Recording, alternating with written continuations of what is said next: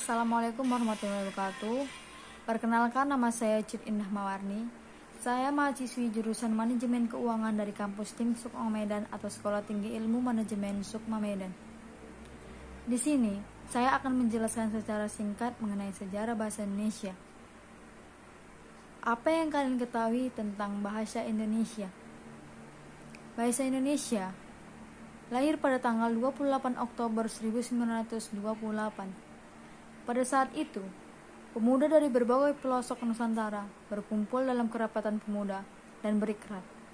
Bertumpah dari yang satu, tanah Indonesia, berbahasa yang satu, bahasa Indonesia, menjunjung bahasa persatuan yaitu bahasa Indonesia. Disebut juga dengan Sumpah Pemuda. Bahasa Indonesia menyatakan kedudukannya sebagai bahasa negara pada tanggal 18 Agustus 1945. Karena pada saat itu, Undang-Undang Dasar 1945 disahkan sebagai Undang-Undang Dasar 1945. Pada saat ikrar Sumpah Pemuda, Muhammad Yamin mengajukan bahasa Melayu sebagai bahasa persatuan. Namun, sebelum disahkan, Sanusi Pane menyatakan, jika kita telah bertumpah darah yang satu, dari berbangsa yang satu, yaitu bangsa Indonesia, maka dengan itu, seluruh rakyat Indonesia menggunakan bahasa persatuan yaitu bahasa Indonesia. Keputusan Kongres Bahasa Indonesia kedua tahun 1945 di Medan menyatakan bahwa bahasa Indonesia berasal dari bahasa Melayu.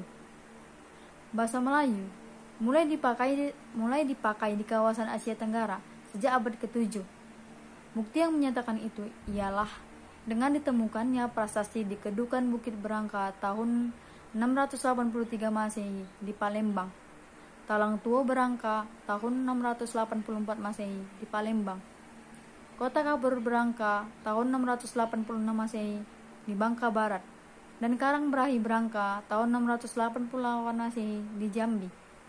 Prasasti itu bertuliskan huruf Pranagari berbahasa Melayu kuno Bahasa Melayu kuno itu tidak hanya dipakai pada zaman Sriwijaya, karena di Jawa Tengah atau Ganda Suli juga ditemukan prasasti berangka tahun 832 Masehi dan di Bogor ditemukan prasasti berangka tahun 942 Masehi yang juga menggunakan bahasa Melayu kuno.